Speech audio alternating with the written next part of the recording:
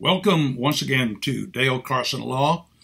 We are today talking about initial appearance in front of a magistrate judge where you may be asked to enter a plea of guilty to a crime, whether it's shoplifting or, for example, DUI or DWI.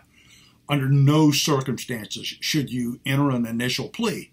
It may be that the government, meaning the police officer and the state attorney can't prove the case against you beyond a reasonable doubt. And if they can't, the case is going to get tossed. So there's no reason for you, because you're feeling guilty or feeling like you did something improper, for you to enter any kind of a plea at your initial appearance. When is initial appearance?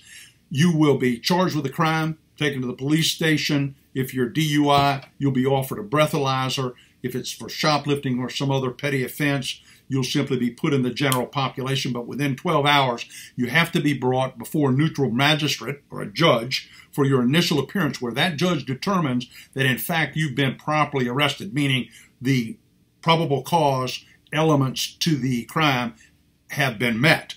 If they haven't, you get kicked out right there and you will be free. But typically that doesn't happen because police officers have supervisors who make sure all the elements are pres- present in the actual arrest affidavit. But if you're offered an opportunity to enter a plea of guilty, please don't do that. Call us or another competent law firm and ask them what you should do. As always, if you have questions about this or any other matter, don't hesitate to give us a call here at 904 355 6777 or look us up on the web. We're happy to chat with you. That's www.dalecarsonlaw.com. Look forward to hearing from you.